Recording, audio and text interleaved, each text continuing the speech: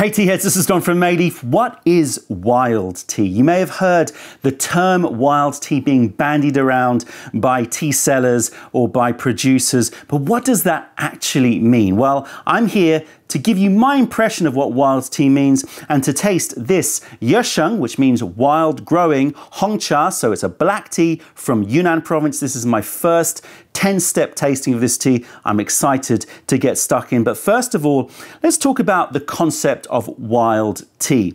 And I don't want to cast any aspersions to sellers out there that are using that term, but I think it's important that we try to define what that possibly means. And in my experience, wild tea can mean a few different things. The first is that they're talking about the cultivar, the variety of the tea tree used to make the tea. If that variety is an old heirloom variety that is not a cultivated variety that has been hybridized and sort of messed with with asexual propagation, then sometimes that is called wild tea. Secondly, we're talking about the ecosystem in which the uh, plant or the tea tree is growing. If that ecosystem is very natural, very varied, very complex, then sometimes that's termed wilder tea. And the third is kind of related to the second, but it's related to how managed the tea forest or plantation is. Obviously, if it's a very managed uh, plantation, then you can't really call it wild. And, you know, wild tea is often sought after and it's often talked about from way back when, even in Lu Yu's Classics of Tea, that famous encyclopedia of tea, he wrote that wild tea is always preferable to garden tea. But when we talk about wild tea, I think that it conjures up these images of sort of intrepid explorers just hacking through with machetes forests and then suddenly uh, finding themselves uh, in this lost tea forest where there's these wild tea plants growing and then they pick it and they produce this tea. In my experience, that is not the case when you go to these wilder uh, plantations or forests, they're not plantations, they're forests, you do feel like it's very natural. You feel that it's uh, very varied, and you feel like you are walking, you know, in in a in a, a real natural wild forest. But in my experience, I've never found a tea which comes from forests which are completely unmanaged forests. They always have some management. So it may be that they are, you know, just sort of hacking back the weeds occasionally, or they are, you know, looking after their tea trees, tending them by making sure that there's sort of maybe they're, they're making sure there's shade plants nearby, etc. So there's some management involved. So I think that the idea of completely wild tea that comes from untouched tea trees that have been suddenly happened upon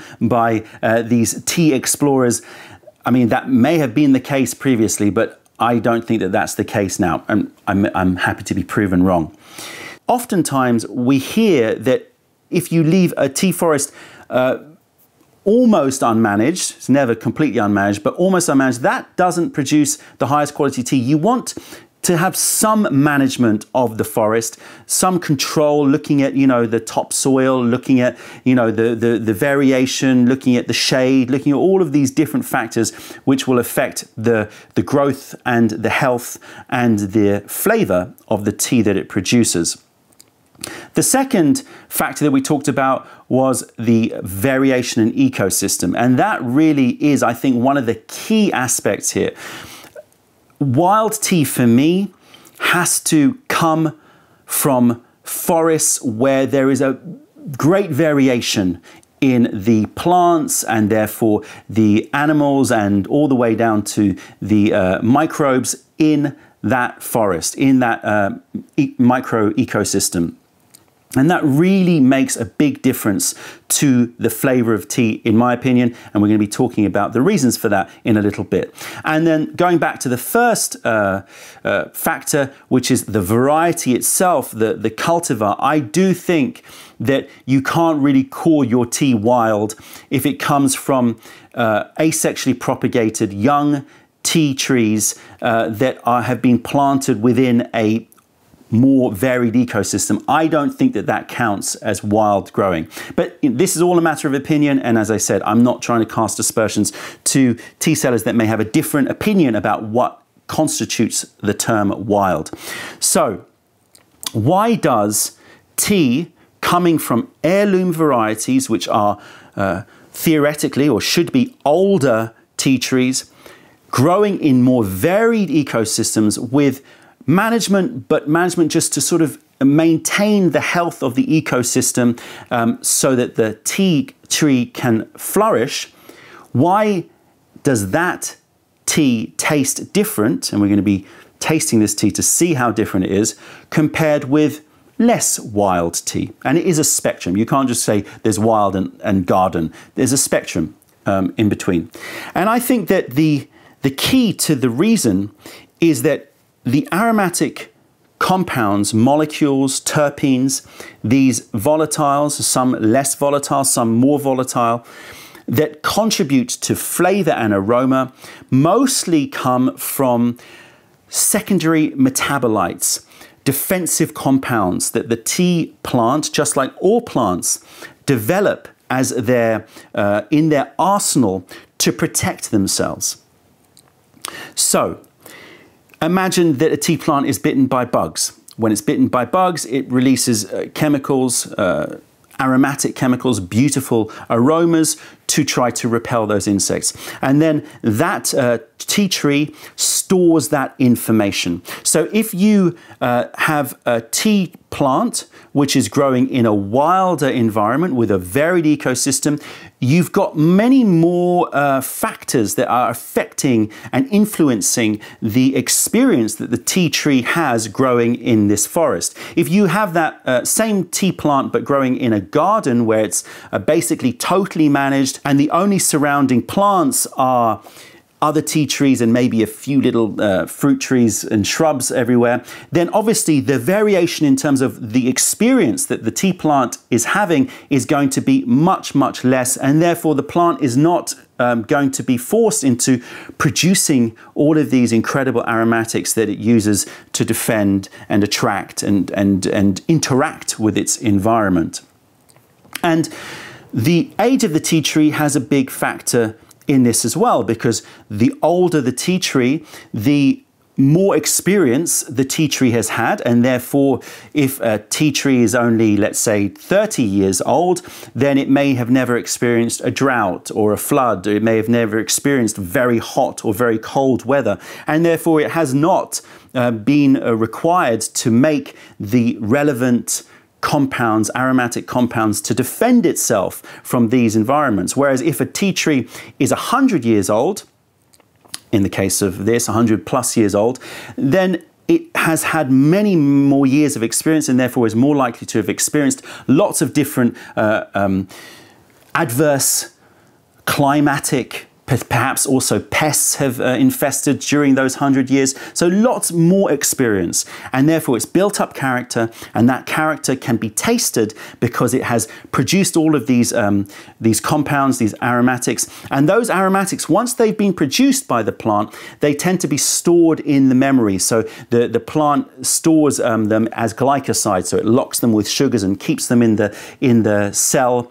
And when there's a new attack or there's a, a similar adverse event happens, then those terpenes can then be released. So the the plant, whilst having the same genetic makeup from the beginning, let's say you took the same genetics, the older tea tree is going to have more aromatic profile or a more complex aromatic profile because of its character, which is built up over experience.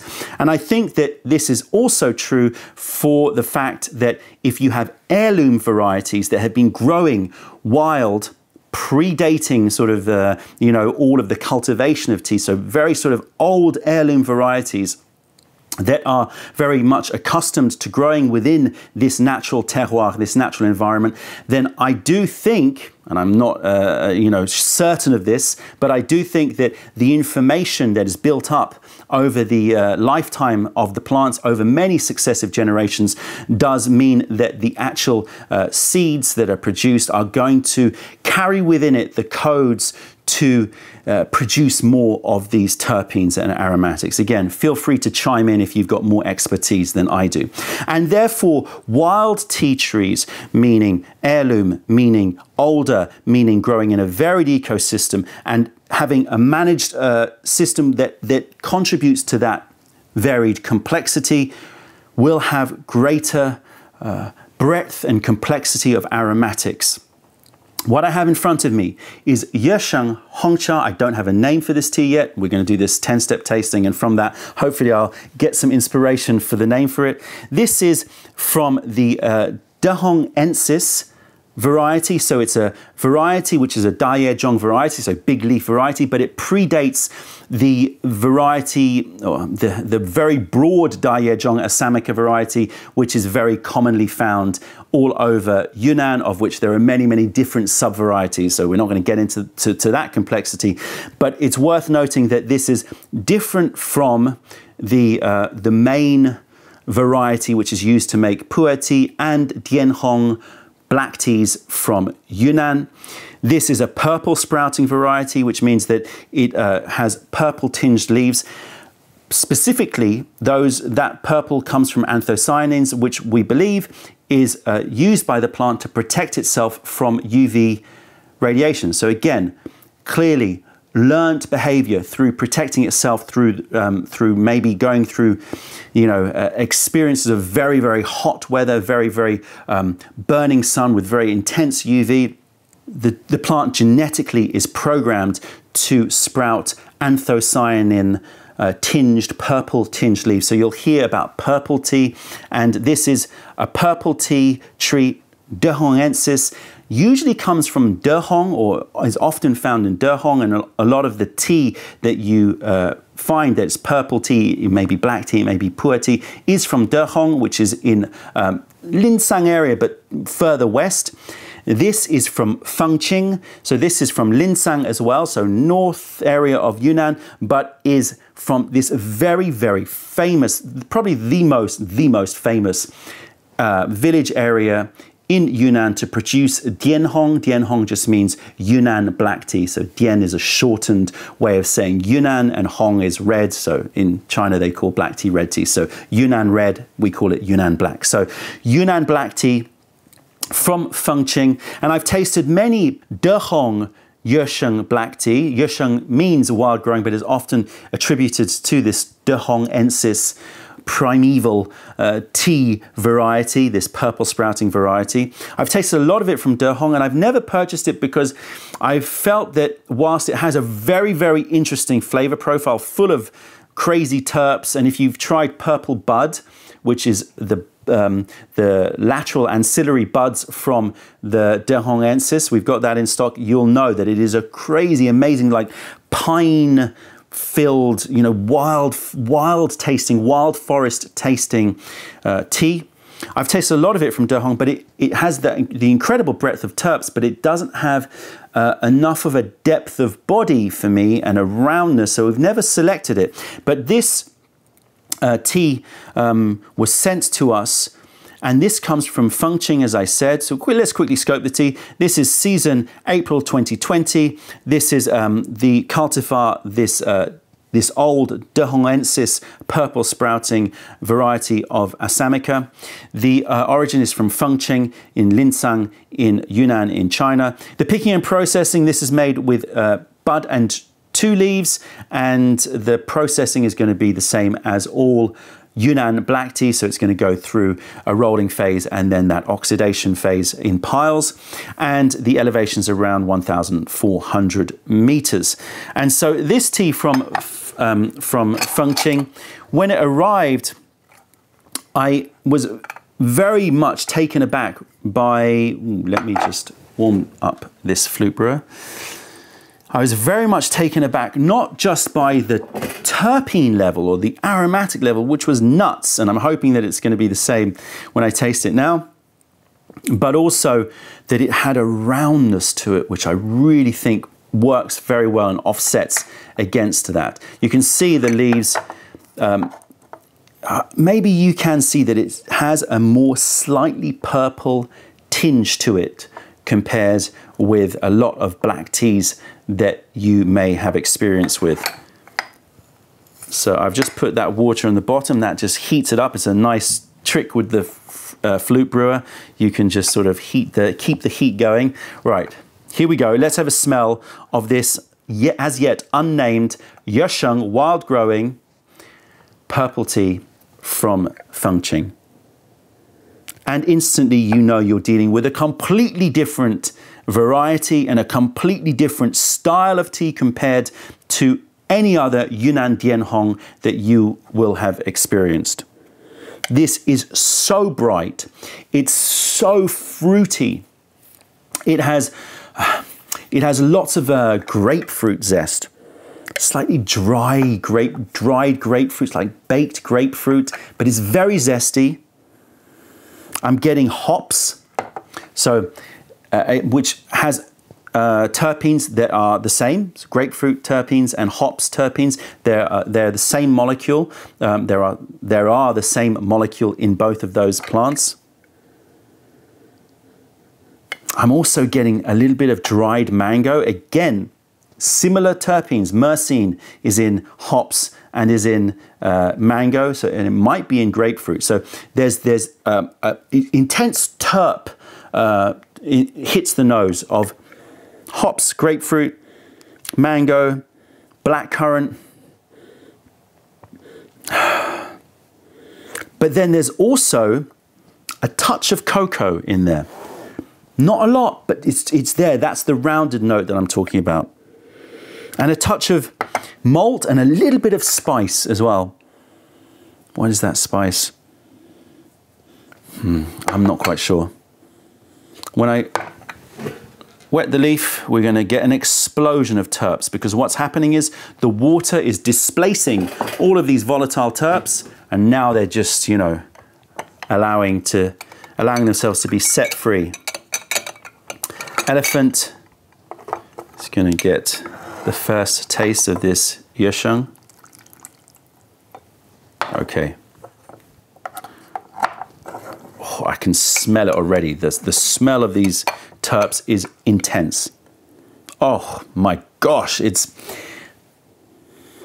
If you've ever traveled to Asia, and you may um, have, especially if it's really hot, there's this isotonic sports drink um, in, uh, in Asia. I think it's a Japanese sports drink. It's called Pocari Sweat.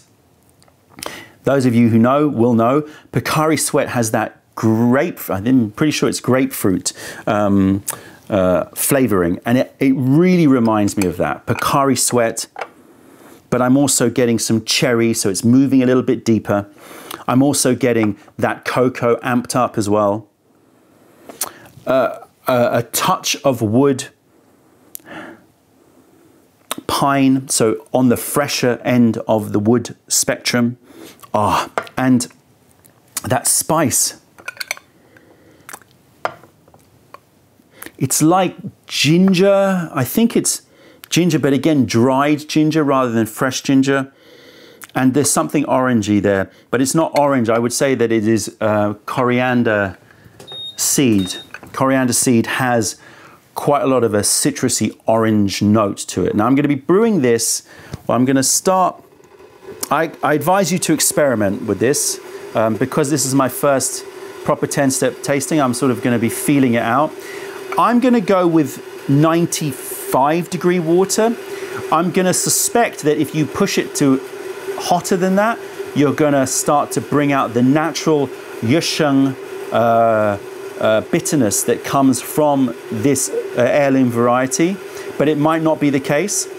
Um, and certainly 90 degrees will bring out a lot of the fruit, but it might impact the body. So I'm going to start at 95 degrees and see how we go. And this is how I recommend everybody handles their tea. We can supply you with brewing recommendations, but ultimately, you've got to experiment and find the right level that, uh, that meets your personal taste because this is always a balancing act going on. All right, here we go into our flute brewer.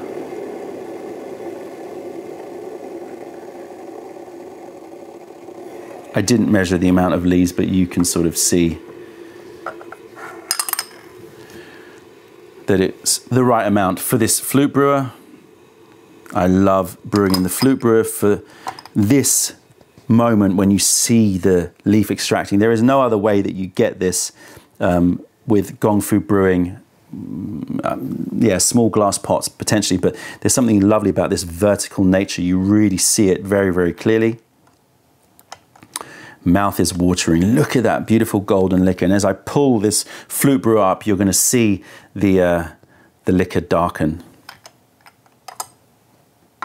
I think that's probably enough for my first infusion. There you go.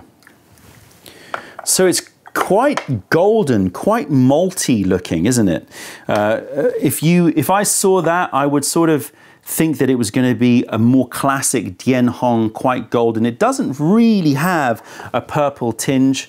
Let me see if I can get that a little bit closer. Yeah, a slight, there's a slight sort of redness to it, pink, pinky sort of hue to it that is um, showing that it is from a purple variety.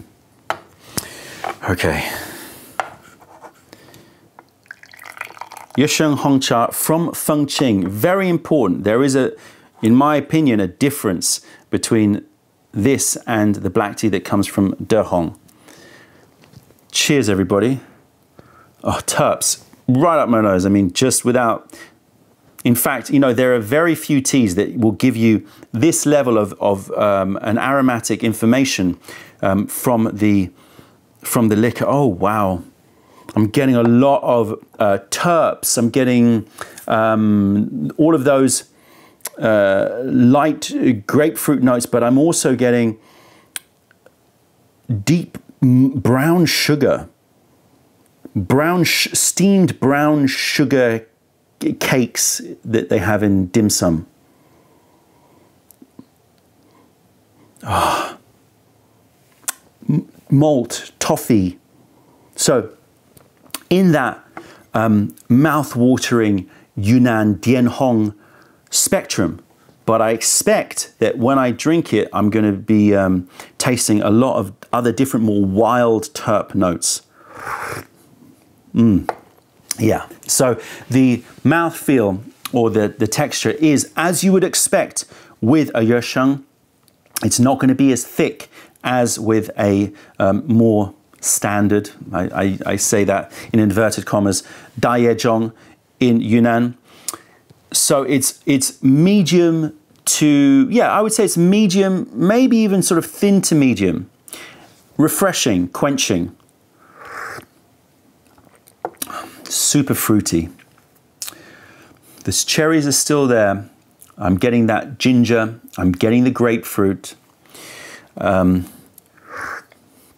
I'm getting that orange note that I was talking about before, the coriander seeds, now has moved more into orange, but again, not fresh, like baked, as if you've um, taken thin slices of, of a blood orange and you've put them in the oven and just baked them off like a lovely cocktail uh, garnish. So it's got the, the, the slight bitterness, 95 degrees perfect for me.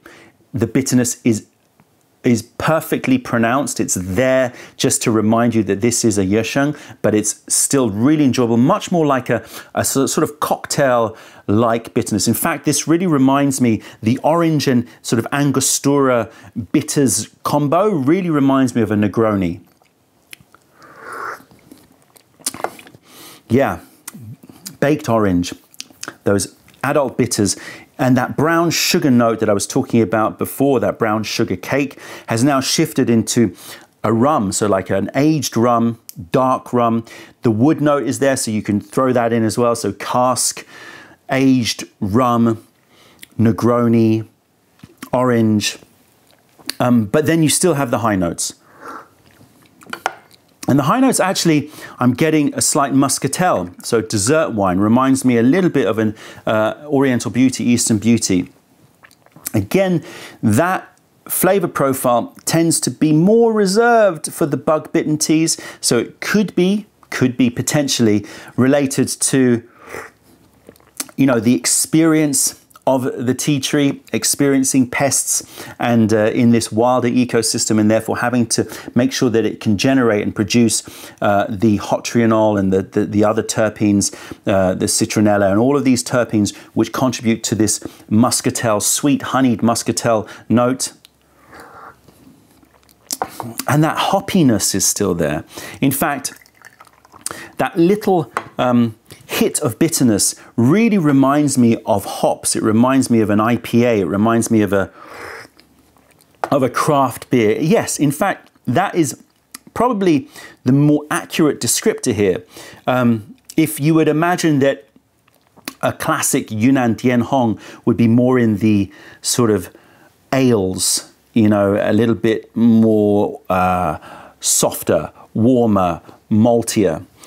This reminds me of those more hoppy, more grapefruit, um, naturally from the hops, that more grapefruity note that comes from uh, craft beers, IPAs.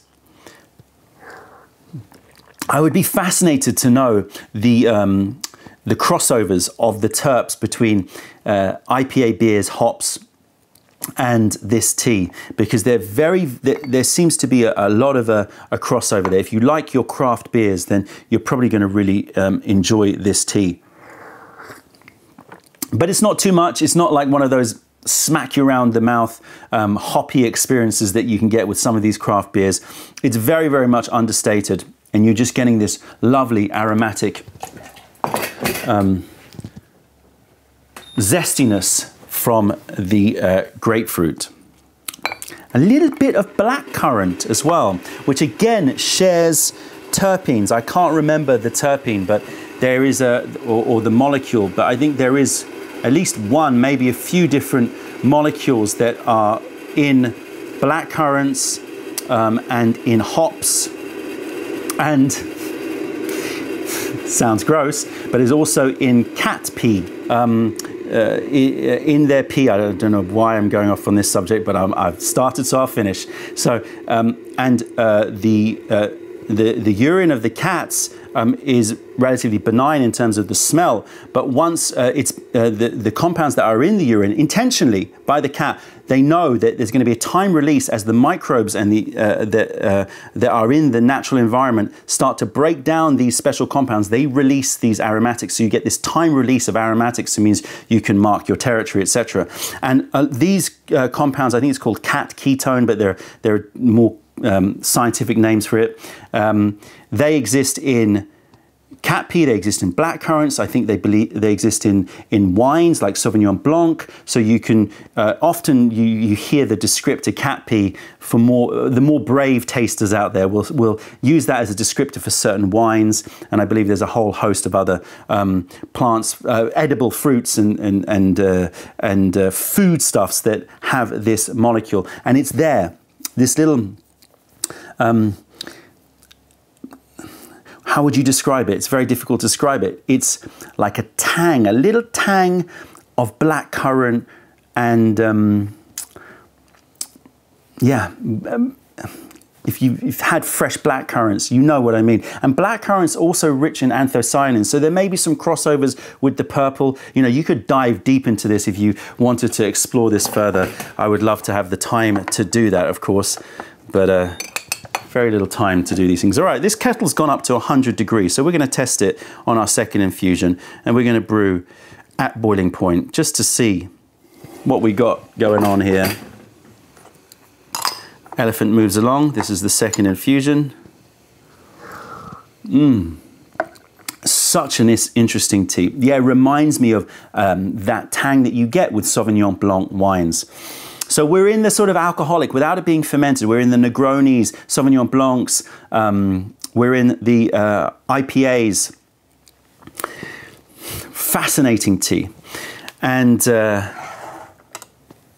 that is a combination of the fact that it is from an heirloom, interesting variety, this Dehongensis variety, which has had a lot of character and experience. And I like to think of it in the sense of like human beings. You know, the more character, the more adverse events that we go through in our lives, the more character we develop. Not in terms of aromatics, of course, but in terms of, you know, uh, other character traits. so what was I saying? Going off track. Um, yes, so the, the this wild taste is to do with the heirloom variety, but also to do with the fact that this tea comes from 100 year old plus tea trees. So, you know, definitely Dashu, potentially moving into the Gushu territories, um, and comes from very, very complex natural ecosystems around Fengqing village. Cheers, everybody. Infusion number two at boiling point. Let's see what that bitterness is doing. Very slightly more bitterness, but but still really really enjoyable. Nowhere near, as I said, those hoppy IPAs, but but moving a little bit more into that territory. Texture has thickened up a bit, so you know hotter water is going to bring out a little bit more of a richer extraction. Therefore, you're going to get a little bit more texture, but it's still, I would say, in the medium zone, and it's still a very refreshing tea. Picking up those notes of muscatel. Um, picking up notes that are more in the um, rounded, malty, toffee-like notes of a Fengqing. So I suspect that if you brew this tea cooler, you're going to bring out more of those top notes, more of the brighter grapefruits, black currants. Um, and the hotter you brew, you're going to make it a bit more warmer, rounder, and thicker. That's my suspicion. I'm going to test out. I've just lifted the lid on my kettle so I can bring this down to just under 90 degrees and we're going to try the third infusion at a cooler temperature. Very important that you experiment like this, you know. You'll get to have a personal relationship with the tea rather than just using a stopwatch and just following um, advice. Oh no, don't heat up. Nope, nope, nope, nope. Switch off. It's at 89 degrees now, so that's perfect. It's going to bump up a little bit, but that should be fine. Mmm. Mm. The finish on the mouth, uh, dry at the back of the tongue, moving to a gentle, not a flooding juiciness, not one of those teas that, that, that hits you with a lot of juiciness, but it has, um, again, that, that sugary note that we were talking about earlier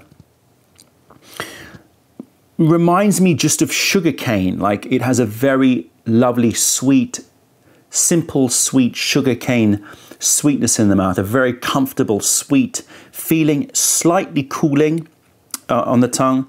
It's going to be interesting to know the body sensation on this because wilder growing tea plants that are older tends to be stronger. So we'll see. Again, because of complexity that's built up through character, through the ecosystem, the age, and the heirloom variety. All right, quickly, um, this is hot, so I can't drink this too quickly, but I want to smell the empty cup and see what that what's going on there. Mm. Yeah, that's hot. Okay, let's pour this away. Let's smell the empty cup. Again, I'm expecting it to be warmer, on the warmer side of the spectrum. Tends to be the case. Yeah. Ginger coming through and caramel. Ginger chews, ginger caramel. Oh, ginger caramel. Oh, that's a lovely smell. I wasn't expecting to be so in love with that smell, but that is. I love ginger caramels. Um, for those of you who have visited our tea house, you may know Coco Loco, which is a ginger caramel and coconut in sort of uh, crazy mix that we make fresh for people when they order, bashing up ginger and this reminds me of that. But it also has um, that uh, malty and slightly fruity note and hoppy note, again of an IPA. Of an IPA, as it cools, it reminds me of the smell. Wow, it reminds me of the smell of smelling an empty sort of beer glass when the, the beer is sort of, you know, you finished your beer and it's sitting there and, and, and or you, you're picking up a, a, a load of glasses of beer and you get that whiff where it's just concentrated down and has become a little bit warmer. Wow, amazing.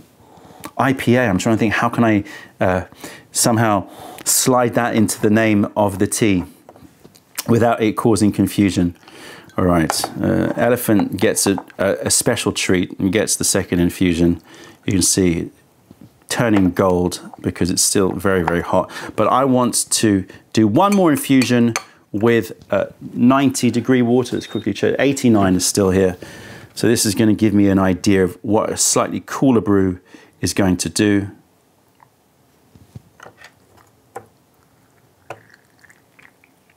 Body sensation, starting to feel it. Drinking on an empty stomach as usual. It's early uh, here in London um, and uh, I can feel it in my stomach. It's not like some intense churning sensation, but it's, it's there. Um, I would be very interested I'd be very interested to find out the entourage effects of this tea, knowing that it has um, that mango note that I'm continually picking up. That means it's rich in myrcene. That hoppy note and mango note means it's rich in myrcene. Myrcene means means it could be a good candidate for entourage effects for those who know. Right.